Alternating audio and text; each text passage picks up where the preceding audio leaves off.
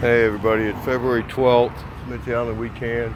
I'm at the corner of Dolores Drive and South Orange Blossom Trail in Osceola County. They've been doing horizontal drilling and here's a, it's probably a frac out. They dug this little hole to try to contain the bentonite and, or the drilling slurry. There's some of it right there.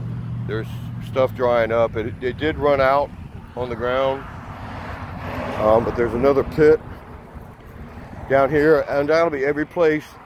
See, this is all drilling slurry that they ran through. Um, and that's the their locate device sitting right there. Wow. Um, but they undoubtedly had a number of frac outs along this path. Because I videotaped one yesterday, which was the end, would have been the exit, the exit site. But this stuff has run out all over the place. You know, and they're driving through it. They're not picking it up. This is all drilling slurry. And it's all down there. And it's all up here. And this is how frac outs happen. And what they're doing is when a frac out happens, they run their little backhoe up here, dig the hole, and um, hope to contain it, but they're not containing it.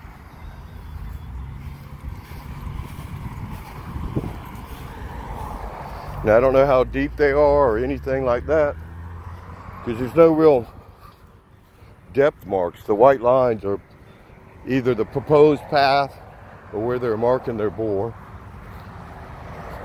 But with Polk County, I requested their drill logs, but the county just says they don't have them in their possession. So I don't, I don't know that anybody's tracking any of this. But I think it's kind of unique or kind of strange that they left their their uh, booklet. Oh, that's that would be the log booklet and their locate. The, what locates the drill head. But here's another pit that undoubtedly was another frac out.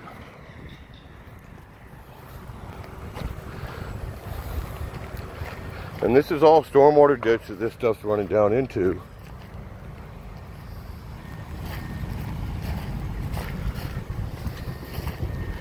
But undoubtedly there was multiple frac outs along this. Now whether they're going to come clean it up, you know, they pushed a bunch of it back in that hole, but they're still in the pullback process or the reaming process.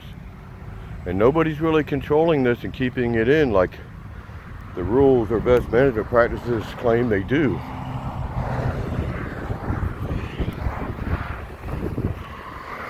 Let me see if I can zoom in enough. Way down there in the background you can see the drilling rig kind of next and before the big mound of dirt down there. This is a road widening project and they're putting on the gas main. And the same company that put in the frac gas in front and around our house is doing this work. I wish I had time to investigate where they're dumping all their slurries. But yeah, HDD drilling has frac outs. And their drilling slurries are spilling everywhere. And it's in every one of our neighborhoods. We just are unaware. Anyway, remember, together we can do more. It's Mitch Allen. Have a great day.